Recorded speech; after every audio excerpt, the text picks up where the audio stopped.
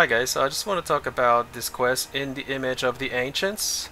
Uh, so if you happen to ha to come over here and it has a red icon that says you can't, uh, you're missing. Well, she's gonna say that you're mispla that you might have misplaced um, some gear.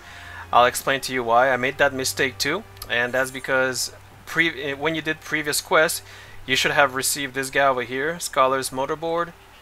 Um, Scholar's Culot, Culot. So you need these come these two over here, the hat and the legs, come comes from a previous quest. So uh, and and also this uh, Scholar's Glove and Scholar's Boots. So these four items, one, two, three, and four, needs to be equipped in order to speak to the quest giver, and then you'll be able to you know to, turn to turn in the quest. Now the problem is that while I was doing some previous, because these are uh, this item, the head and the kula came from um, previous quest that I did, and for some reason I put them in the armoire, you know, for glamour. No, for my uh, command squadron armoire. So uh, I put them away, and I don't even know.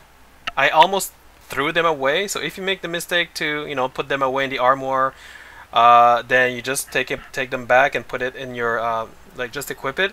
If you throw them away, any of these four items, you need to speak to the uh, pre previous quest giver so that you get these items back. That is, of course, if you have uh, achieved the quest, of course.